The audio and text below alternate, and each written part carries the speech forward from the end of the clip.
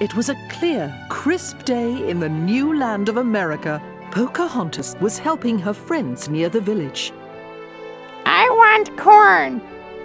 After a while, Nakoma came to join Pocahontas. She'd had a strange dream and was feeling a little worried. I had a dream about corn. Give me some corn. Pocahontas picked up an ear of corn and reminded Nakoma that tonight they were in charge of preparing dinner for the whole village. Nakoma was happy to have the distraction. There was no time for worrying about silly dreams. Here is some corn.